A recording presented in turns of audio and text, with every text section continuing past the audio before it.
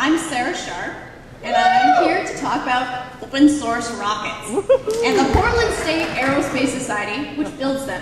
Portland State Aerospace Society, we shortened to PSAS because it's too long to say. so PSAS's goal is to build a rocket that can put a nanosatellite into orbit. Lots of amateur groups have built CubeSats, as they're called, but none of them have actually put them into orbit themselves. This is because getting into orbit is kind of hard. You can't just go straight up, you'll come back right down. So what you have to do instead is go up and slowly drift over sideways in an optimal insertion trajectory, and this is a little hard. So what do you have to do to, and what do you need to get into orbit? First of all, you need a lot of sensors. You need to know how fast you're going, are you accelerating, how high are you, are you rolling, and which direction you're actually going in.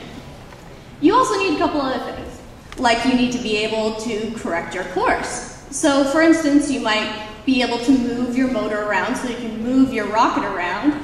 Um, like the shuttle is doing down there, you can see the, the motors are actually pointing away from the main thrust. And you also need active guidance. Since our rocket is not manned, you have to have computer smarts to guide into space. And if things go wrong, then you might go into spin like the Trident rocket. Um, the other things that you need are communication. You need to make sure that your rocket's in orbit and not in someone's lawn.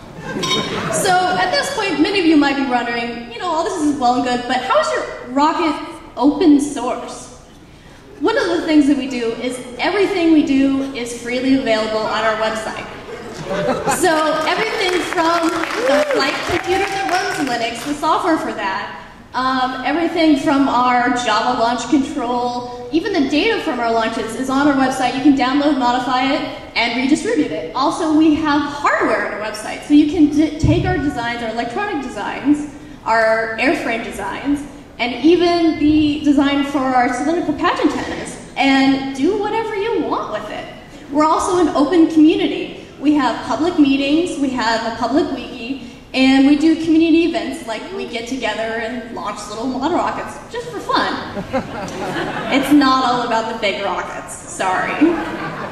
So why is PSAS so open? We started out really small, and we're still small compared to NASA. So anyone, anyone that takes our work and builds upon it and gives back to the community we learn from that. So at this, I, at this point I say, join the dark side. We have rockets.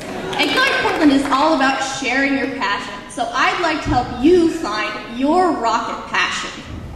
So what could your rocket passion be? Maybe you like building things. Maybe you think welding's cool. Or you'd like to work with a CNC machine and learn how it works. So maybe working on the PSAS airframe team might be for you. Or maybe you like something else. Maybe you like, say, communication radios, or you want to be a ham radio operator or build antennas, or maybe you want to build, you know, an automatic uh, tracking device so that guy over there doesn't have to track a rocket for two hours. or maybe you like electronics. Maybe you've played with resistors and capacitors, or you've settled with microprocessors, so maybe the avionics team might be for you. Or maybe you like, say, software. And maybe you want to work on the control software for our flight computer. Or maybe you played with Java and you'd like to make our launch control app look prettier.